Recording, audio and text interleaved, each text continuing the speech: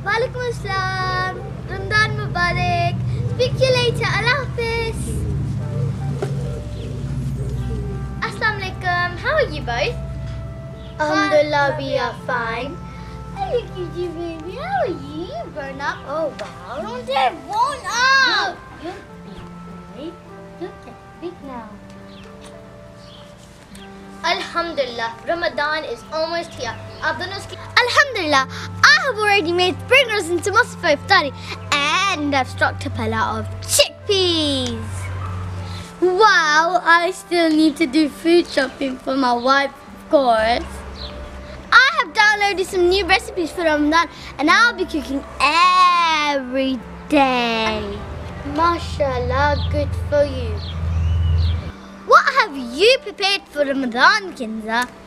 Well, recently me and my family made a schedule to how we use our time wisely, like uh, reciting Quran together as a family, uh, Sadqa and Qiyamul Layl. Oh, and I bought some dates. But don't you have any special recipes for Ramadan? I love yummy food in Ramadan.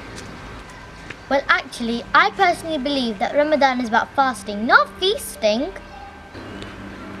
Remember, brothers and sisters, Ramadan is a month of mercy and blessings from Allah subhanahu wa ta'ala. So let's utilize every single moment of it. Food is also, of course, important, but keep it light, simple, and healthy so you and your family can focus more in ibadah and collect as many rewards as you can from Allah. Jazakallah, sister.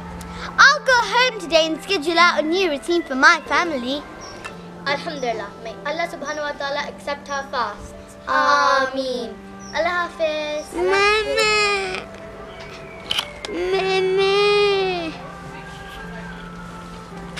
हाय मेरा बच्चा